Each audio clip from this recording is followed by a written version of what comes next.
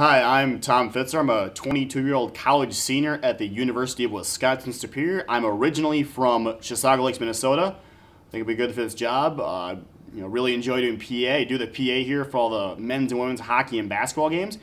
And I'm looking to make a career out of this and figured take a shot at it. So here we go.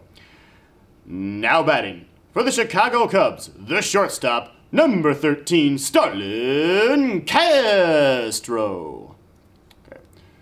Now entering the game for the Chicago Cubs with a record of 2 and 1 on the ERA of 1.17 and 36 saves, the closer, number 49, Carlos Marmol.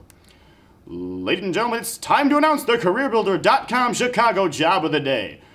The Chicago Cubs are searching for the next voice of Wrigley Field. If you have the voice to captivate 42,000 fans and would like to enjoy watching every home game from the best seat at Wrigley Field, then apply now only at CareerBuilder.com.